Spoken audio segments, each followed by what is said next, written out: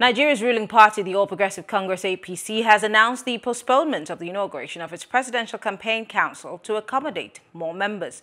In a statement issued on Monday night by the Director General of the campaign and the Governor of Plateau State, Simon Lalong, the uh, inauguration has been postponed indefinitely to allow the expansion of the list. Recall that the APC Presidential Campaign Council earlier released a 422-man list of power brokers as members of the council, which excluded some notable leaders of the ruling party. This development raised a lot of dust as clashes ensued over the Muslim-Muslim ticket of the party. Well, joining us to discuss and break this down is Biodun Sowunmi, a political analyst. Thank you so much, Mr. Sowunmi, for joining us. It's my pleasure. Great. Um, let's start by the most conspicuous mistake, I'd like to call it, um, for the presidential um, campaign council, which was a, the inclusion of the name of a People's Democratic Party member on that list. What exactly do you think that was? A fluke or a mistake or maybe something that has been in the works? Well, um, about it, it's quite um, very, very clear that there's something else. I don't necessarily think that the names of the members of PDP, uh, particularly Senator Chief Maroke Nnamani, that was included, would have been done in error. Hmm. Uh, it may be because some other discussions were taking place behind the scene, and we are likely, possibly, going to see some input jumping. It's just a matter of waiting for when that will happen but they had to include them from the beginning as part of the planning. That's one possibility. The other possibility is the fact that uh, indeed there could have been an error, which the uh, the, the, chances, you know, is uh, the, risk of an error is very slim. Um, even the personality involved, uh, particularly, I will repeat um, so uh, the way I see it is we are beginning to see uh, things unfolding. We saw what happened, what has been going on with uh, Muslim Muslim ticket. We also seen what has been going on with uh, the division in PDP, the challenge to uh, Ayu's leadership. So politics is the era of politicking. Politicians do that um, before the campaign starts. Now, once the campaign starts, we'll begin to see uh, what are the facts of what is going on.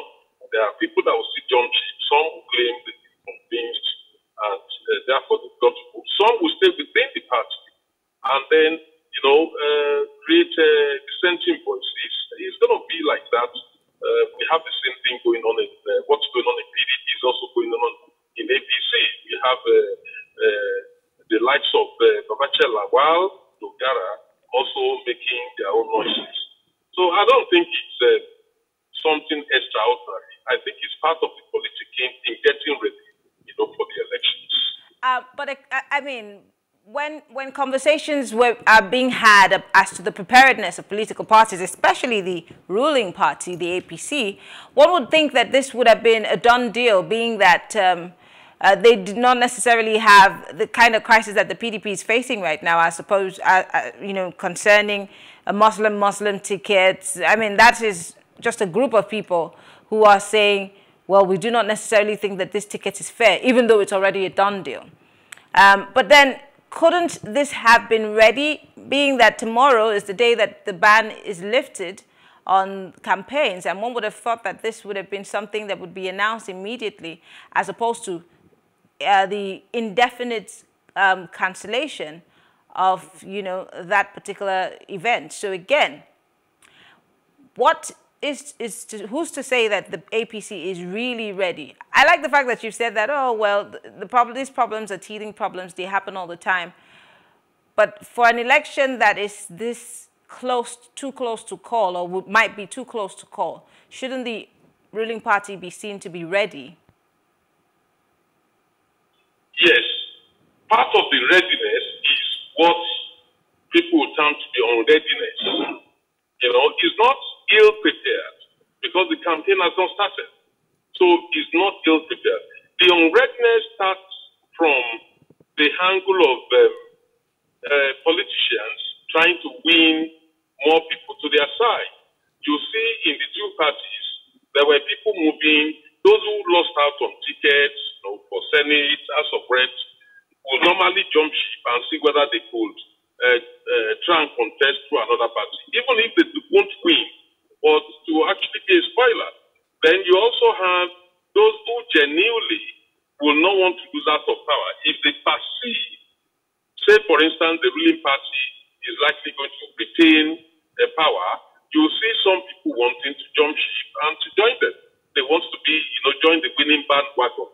Then you have those who are determined uh, diehard, who feel more principled or have ideological uh, dimension to their own perspective. You are likely going to see them also maintaining their own position. The most important thing is, I don't think this is about preparedness. Even as campaign keeps going on, you still see some of some people jumping ship. They will still continue to hold more people to their side. The way politicians view this is that the more the merrier. They don't see it as a sign of unpreparedness. If need be, they will add someone else, you know, to to to, to, to the campaign again in the midst of the campaign. If you hmm. look at what happened in PDP, you will notice that Jibril, the, the, the, the former chairman POC that stepped down just less than some weeks ago, less than a month ago, has actually been made to join the campaign. So they will continue to reconfigure, configure and reconfigure campaign trail until they make sure that they are well spread and they have people who are able to deliver the vote. So that's the It's not about not being prepared. It's about, you know, continue to strategize, continue to see how they can illustrate and win more people to their side. That's the way they see it, and that's the way I see it in all honesty. Let's talk about um, the Northern Elders Forum, who have put out a statement saying um, through its um, secretary uh, or spokesperson, um, uh, Hakeem Baba Ahmed, he did say something in the lines of that they're yet to posture towards the person that they want to throw their weight behind as a forum. And they, he did say that, they, that whoever they pick would be physically sound, mentally sound, and otherwise sound. And they mentioned other things that would characterize who they will throw their weight behind and uh, finally vote for. Again, let's talk about the Afenifere who have thrown their weight behind, well, some gentlemen within the Afenifere, some chieftains, Chief Olu Falae, Payo Adebanjo, who have said that well, they, they, they rather vote for the Labour Party for reasons, um, you know, they, they have clearly stated. Uh, how does this also play to the APC presidential candidate's favour or disfavour? Yes, when you look at um, the Northern Elders Forum, I think that is unique. It sparks of arrogance in my viewpoint. When the unelected leadership, Northern Elders Forum, would they meet uh, that they have to uh, interview, interrogate all the candidates before they can make up, you know, their mind on who to vote for. There's nothing wrong in looking at the debates, you know, looking at um, the manifesto, and then see how people explain, or the, uh, the aspirants explain how they could implement them. There's nothing wrong with that. But to say, to turn themselves into a media or into a democratic institution where you have to scrutinize, you know, the programs and perspectives, you know, of those aspiring, uh, I don't think that is right. It might be marks of arrogance. They think they speak for the North, they decide for the North. I don't see the North as monolithic uh, in that sense. I, I cannot see how the Northern Elders Forum will speak for Plateau or uh, Benue State. I cannot even see how they will speak for uh, for Borno State or Yobe State. So therefore, uh, the way this thing plays out is again about negotiating. And that's what I think they intend to do, to negotiate on collective interest, what they perceive to be the collective interest see who can they push or hold all the three of them responsible for what they think are their own collective interests. It is not about the national interest, in my viewpoint. Um, now, over to the Afenifere. Go ahead. Beg your pardon? Go ahead. Over to, uh, on the Afenifere angle also, this is also another unelected dictatorship who gave the, who gave the leadership of Afenifere the sole right to decide the fate of the Southwest. That is one. Now, that is not even the case. You have the acting national leader of Afenifere, my respected Baba Adebanjo, you know, taking a position on behalf of the Afenifere as an organization. I don't believe all Afenifere members were consulted on this, and I stand to be challenged, and I know exactly what I'm talking about. And therefore, in my view, Papa Adebanjo is only speaking for himself. He's not speaking for the Afenifere as a whole. There are so many groups in Yoruba land. The idea of coming up with Owanifere and all that, uh, for me, is um, short of, um, uh, I, I will short stop of saying political prostitution in the sense that this issue of handshake across the Niger, you know, has been an agenda which many people pursued, including I myself. But then you pursue it only to a point where you agreed on agenda. It is not about choosing a leadership or not choosing a leadership for a country. When the handshake across the Niger uh, program started, I remember the late Yinka Odumakin, uh, the sorely rest in peace. I and some others were fully involved. We went to Enugu, we went to Middle Belt and other places. Now, the whole idea, you know, was around, you know, ensuring that we have a united people. We heal the wounds of the past, of the Civil War. It is not about endorsing or picking a leadership. The whole idea of the handshake across Niger, you know, is also about uh, fighting for restructuring. And in my view, endorsing one candidate or the other is not part of that agenda. So, as far as I can see it, the Ohaniferi, whether it's Afenifere and Ohanaeze, are now on a different program, different from the agenda, you know, uh, which uh, we all did set out to achieve. It is not about restructuring, in my view, and it is not about the unity and healing the wounds of the people. This is about power, strictly about power, and people are positioning, you know, themselves uh, one way or the other, either for uh, Atiku, or for Obi. That is exactly what is going on. It is partisan in nature, and AFEF is not supposed to be. It's supposed to be a socio-cultural organization representing the interest of all the Yoruba people. Let's let me take you on some of the things that you've said, especially about the Northern Elders Forum. Um, yes, you might be right that they do not necessarily necessarily um, have the vote of every person in the North, but these are people who have been speaking for the North. These are people who have cried out on behalf of the North, um, whether in terms of insecurity, um, the abandonment of government and leadership um, the fact that they have been getting the short end of the stick, etc., etc. So why can't they, whether they be 10, 5, or 2 people, say, well, this is what we want. We want to be able to probe. We want to be able to see. We want to be able to be certain that this person who's coming to us wanting our votes is worthy of it. What's wrong with that? Um, I mean, whether they, whether they are uh, elected or not, they're also, you know, voters. They have a right to vote. And they're saying, if our people have been getting the short end of the stick and we've been getting all of this, you know, from the past administrations, now we are willing to make sure that we give our people uh, some opportunity to scrutinize these leaders. What's wrong with that? Because I'm querying why you're saying that it's not their place to do it. But then these are elders representing these areas. Why can't they posture? Yes. Um, the Northern Elders Forum is a group like other groups in the country. What we're saying is, it's tantamount to say Afenifere wants to call all the candidates to come and address them and convince them um, before they can make up their mind on who to, to back or not to back.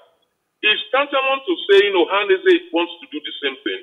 And it is the same right the civil society organizations would have to say yes before we can endorse any candidate or support any candidate. But, is, but isn't that the case for every? But isn't that the case for every voter? Does every candidate not have to, one way or the other, give you a reason to vote for them, would you not scrutinize them? Would you not at least try to ask questions? And that's why there are opportunities for these debates, etc., etc. But if they, as a group, are saying, we want to see you as a candidate, this is what we want, we want to question you and scrutinize you, what's wrong with that? look, absolutely. Every voter, whether as a group or as individuals, have a right to examine the manifesto of political parties. They even have a right to ask questions.